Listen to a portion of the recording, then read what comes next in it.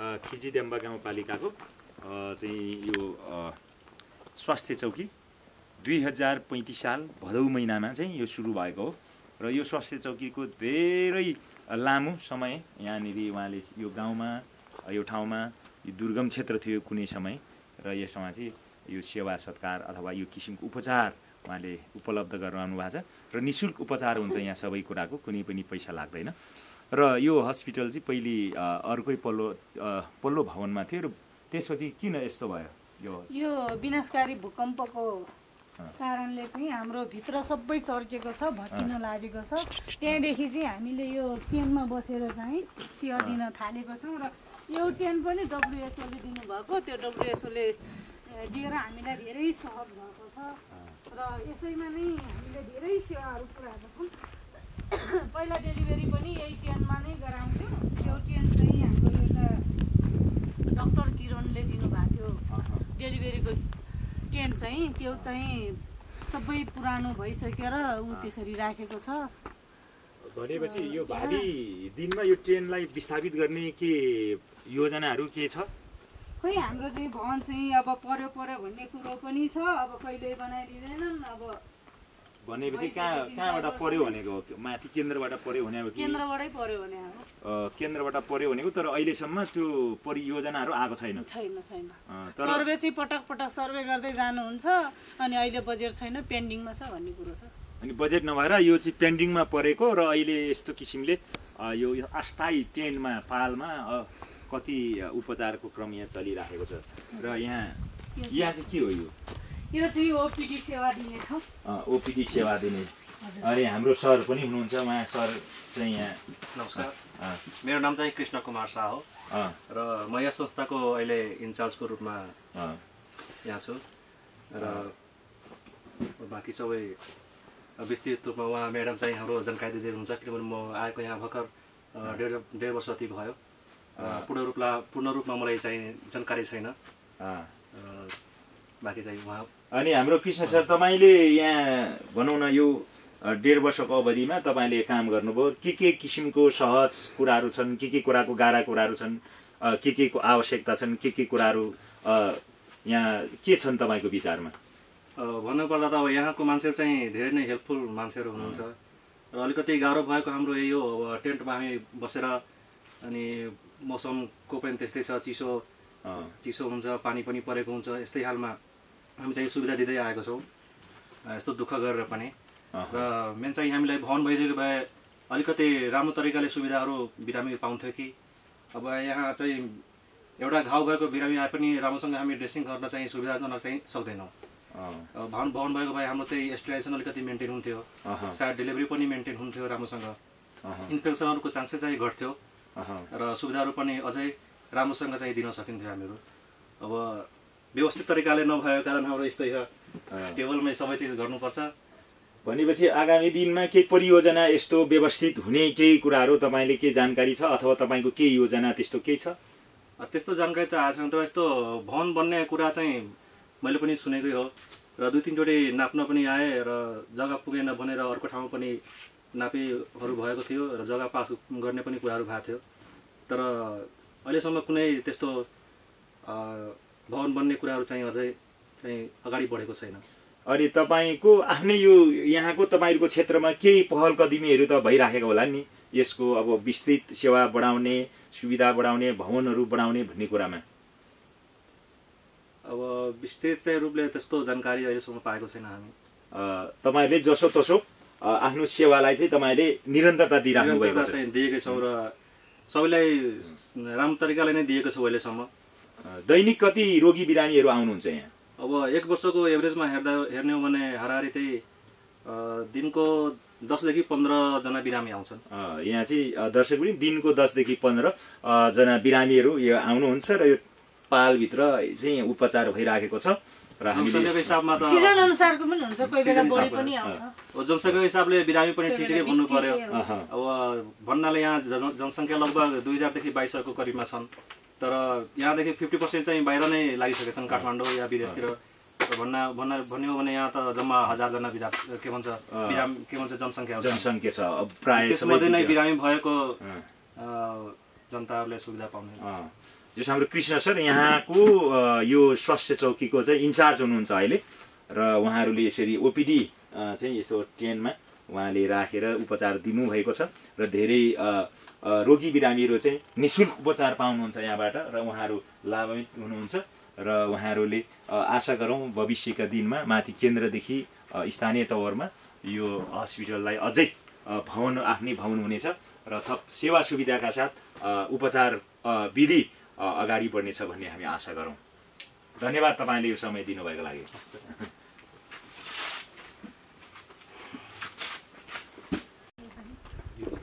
के अरे यो परामर्श कक्ष पनि हो प्रशासन पनि हो। र यहाँ चाहिँ हाम्रो विभिन्न परामर्श दिने अनि यो के के भन्नुभयो तपाईँले?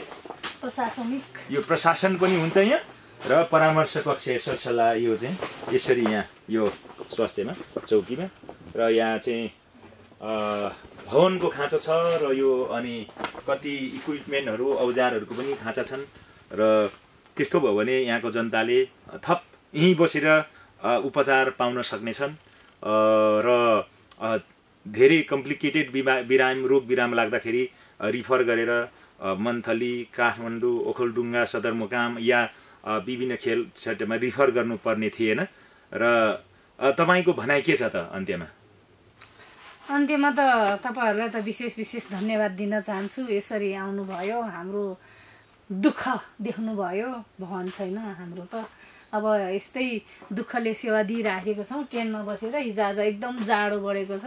जाडो मौसममा पनि यसरी बसेर सेवा दिनुपर्ने छ र तपाईँहरू यहाँ हाम्रो दुःख हेर्न आउनुभएकोमा विशेष धन्यवाद दिन चाहन्छु। अनि केही भावी दिनमा के के यसो केही त कुराहरू होला नि तपाईँहरूको पनि परियोजनाहरू? अब भावी दिनमा त अब यो भिडियो हेर्नेहरूलाई पनि र सुन्नेहरूलाई पनि यो हाम्रो स्वास्थ्य चौकीको अब यो हाम्रो खिजी चण्डेश्वरीको चाहिँ जीर्ण भएको अवस्था भवन छ र यो जीर्ण भवनलाई पनि रि रिपेयर गरेर पनि साध्य नहुने खालको छ र नयाँ भवन निर्माण होस् र त्यसको लागि पनि आफ्नो ठाउँबाट कति सकिन्छ त्यति नै अब प्रोसेस उहाँहरूले पनि अगाडि बढाउन सकोस् भन्न चाहन्छु र यहाँहरूले पनि हाम्रो दुःख देखेर हाम्रो दुःखसम्म यसरी भिडियो लिन आउनुभएकोमा यहाँहरूलाई पनि विशेष विशेष धन्यवाद दिन चाहन्छु।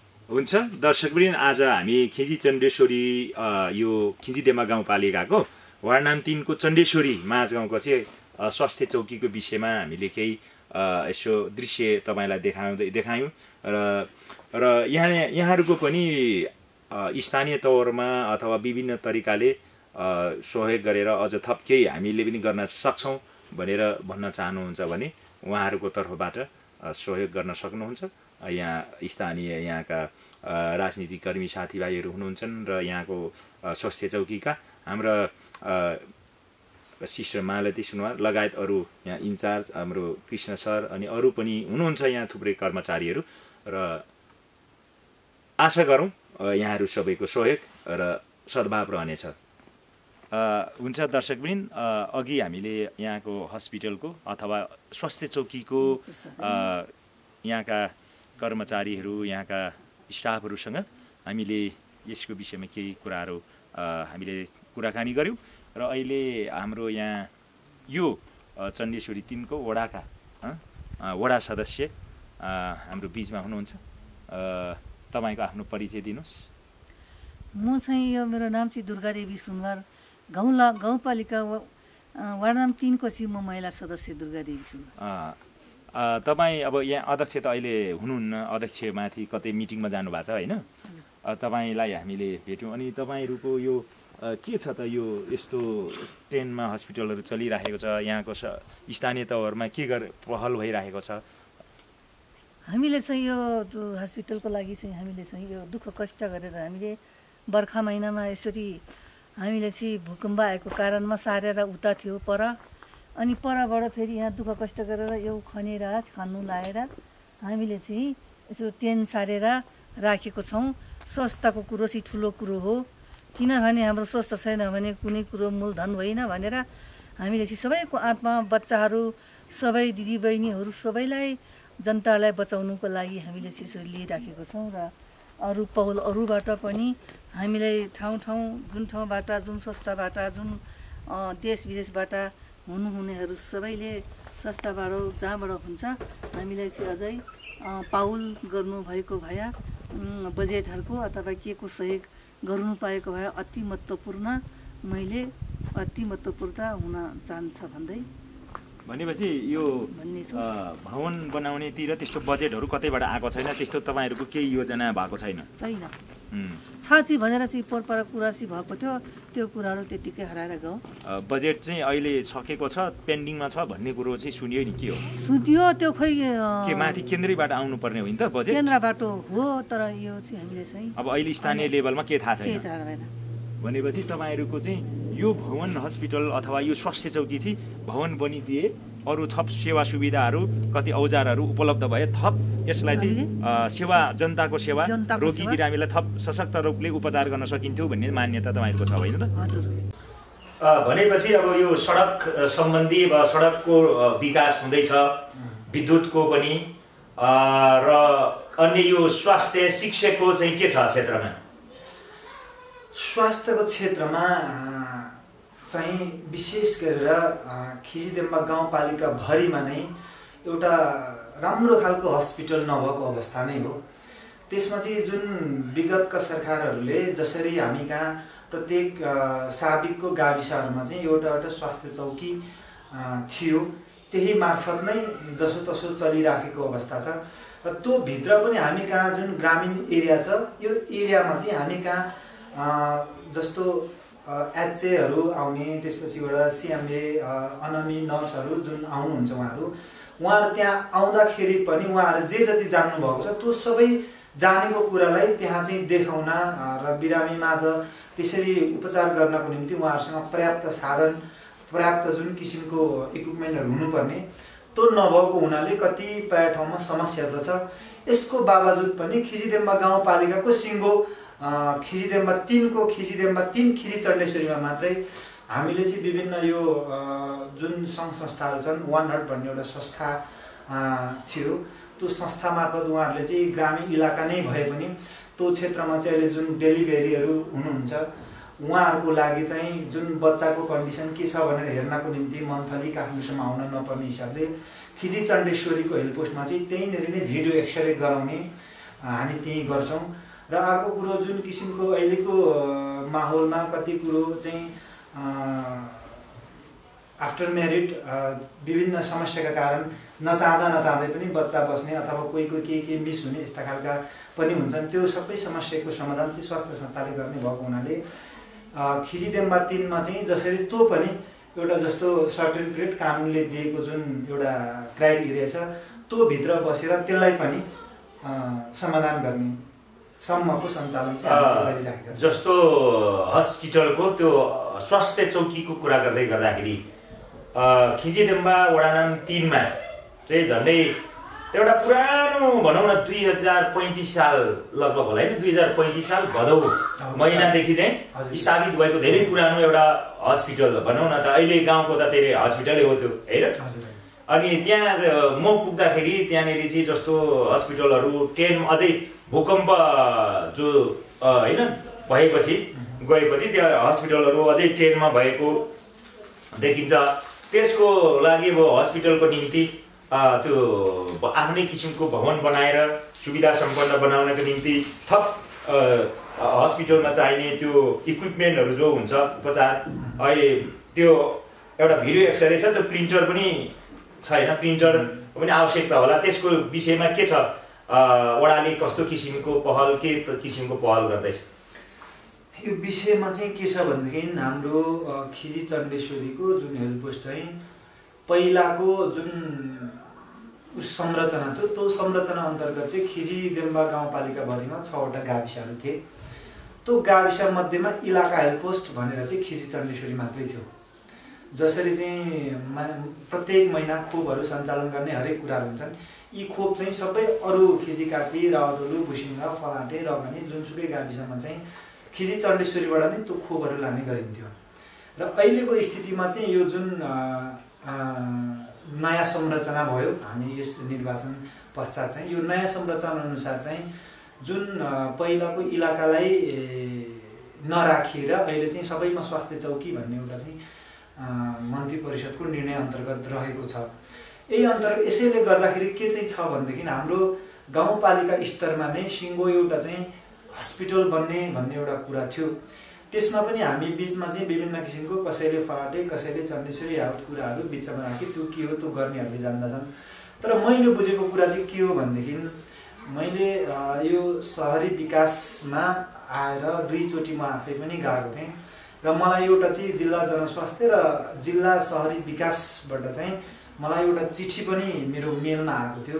जुन चिठीमा चाहिँ के थियो भनेदेखि चण्डेश्वरी खिचिदेम्बामा बन्दै गरेको एउटा हस्पिटल चाहिँ खिजी चण्डेश्वरीमा स्वीकृति भएको हाम्रो सिओ साहब र समथिङको दुई चारजना सचिवहरूले मन्त्रालय स्तरबाट नै निर्णय गरेर एउटा चिठी आएको थियो। र त्यही चिठीको आधारले सबै कुरो स्वीकृत भइसकेको खण्डमा पनि हामी कहाँ टेन्डर किन भएन भनेर म दुईचोटि चाहिँ मन्त्रालय पनि आएको थिएँ। यहाँ र उहाँहरूले मलाई के भन्नुभयो भने यसपालिको यो आर्थिक वर्षमा हामी कहाँ सबैतिर म्यानेज गर्नुपर्ने भएको हुनाले बजेटको कम भयो। अब आगामी आर्थिक वर्षमा चाहिँ तपाईँको जसरी हुन्छ त्यहाँनिर एउटा भवन पर्छ भन्ने खालको उहाँहरूले भन्नुभएको छ। त्यो चाहिँ हामी टेन्डर मार्फत खुलाएर तपाईँको हस्पिटल बन्छ भन्नुभएको छ उहाँहरूले। त्यसको लागि चाहिँ सहरी विकासबाट जिल्ला सहरी विकासबाट पनि दुईचोटि इन्जिनियर साहब आएर पनि उहाँले नापेर जानुभएको छ। अब यो प्रोसेस कहाँसम्म पुगेको छ अलिकति बुझ्न बाँकी छ। जस जसरी हुन्छ सायद मेरो विचारले खिजी चण्डेश्वरीमा नै यो भवन बन्छ भन्ने मेरो विश्वास छ। त्यसै कारणले गर्दाखेरि हामीले थप अरू विकल्प नखोजेका हौँ। अहिलेसम्म हामी कहाँ त्यो ट्रेन नरहनुको कारण चाहिँ यो पनि हो एउटा समस्या। भनेपछि अब अहिले त्यो चाहिँ पेन्डिङमा भएको लिस्टमा परेको छ मन्त्रालयबाट। त्यहाँनिर भवन बन्छ हस्पिटलको भनेर तपाईँहरूले चाहिँ पर्खिरहनु भएको छ। त्यसको लागि त्यही भएको हुनाले हामीले चाहिँ थप अरू विकल्प नखोजेर अब यदि त्यो भवन बन्दै नै छ भनेदेखि हामी थप किन चाहिँ पैसाहरू बढी खर्च गर्ने? एकतिरबाट त हुँदै नै छ फेरि अर्को पनि किन खर्च गर्ने केही समयको लागि भनेर हामीले यस्तो ट्रेन्डमा चलाइराखेको अवस्था हो। जस्तो कोही शुभेच्छुकहरूले जस्तो कति इक्विपमेन्टहरू त्यहाँ आवश्यकता देखियो जस्तै प्रिन्टर भिडियो एक्सरे गर्छ गर्भवतीको अनि त्यहाँको कर्मचारीले लेख्दै गर्दैछन्। त्यो प्रिन्टर नभएर त्यहाँ चाहिने कति इक्विपमेन्टहरू कोही शुभेच्छुकहरूले हामी दिन चाहन्छौँ भनेर दिन चाह्यो भने तपाईँहरू के छ? त्यसको लागि त एकदमै एकदमै उहाँहरूलाई स्वागत छ। किनभनेदेखि अहिले पनि हामी कहाँ जुन त्यो बर्थिङ सेन्टरहरू छ होइन यो पनि पुरै नेपाल सरकारको मातहतबाट पुरै नबनेको खण्डमा कति ठाउँमा चाहिँ हामी चाहिँ साझेदारीमा गर्ने पनि गरिरहेको छौँ। जस्तो वानहरूले पनि दुई तिनवटा केही सामानहरू दिनुभएको छ। त्योभन्दा बाहेक अरू अरू संस्थाले पनि कसैले स्टेजर दिनुभएको छ होइन। कसैले चाहिँ बेडहरू दिनुभएको छ। कसैले चाहिँ के ग्लोभ्सहरू दिनुभएको छ। यसैले गर्दाखेरि यस्तोहरू यस्तो जो सहयोगी दाताहरू निस्किनुहुन्छ भने यो त हाम्रो लागि एकदमै उहाँहरूलाई स्वागत योग्य कुरा हो? अब यो स्वास्थ्य क्षेत्रमा होइन तपाईँहरूको त्यहाँ अहिले धेरै अब चाहिएको छ। निश्चय आशा गरौँ भविष्यका दिनहरूमा थप त्यहाँको स्थानीय जनताहरूले सुलभ रूपमा त्यहाँको उपचार पाउन सक्नेछन् भनेर हामी आशा गर्न सक्छौँ होइन? एकदमै हामीले एकदमै प्रोसेस पनि गरेका छौँ। गाउँपालिका स्तरमा पनि तुरुन्तै नै अब हाम्रो सायद यही आर्थिक वर्षमा नै केही टेन्डरहरू खुल्दैछन् होला जस्तो मलाई लागेको छ। किनभने त्यो सबै भवन बन्दै गर्दाखेरि गाउँपालिकामा पनि एउटा हस्पिटल बन्छ। कुन लेभलको बन्छ त्यो चाहिँ अहिले मलाई ठ्याक्कै थाहा भएन तर त्यहाँ पनि एउटा हस्पिटल बन्दैछ। त्योभन्दा बाहेकको अर्को एउटा यतैबाट परेको हस्पिटल यो त म कहाँ अहिले चिठी नै छ। उहाँहरूले कहिले चाहिँ टेन्डर गरेर सायद यो खुलाउनुहुन्छ केही समयमा हुन्छ र अहिले तपाईँहरूको बिचबाट क्यामेराम्यान तिमोथी सुनवार र म रेशम कुमार सुनवारबाट बिदा हुन चाहन्छु। आगामी दिनहरूमा थप अरू कार्यक्रमहरू लिएर तपाईँको माझमा उपस्थित हुनेछौँ। धन्यवाद। नमस्ते।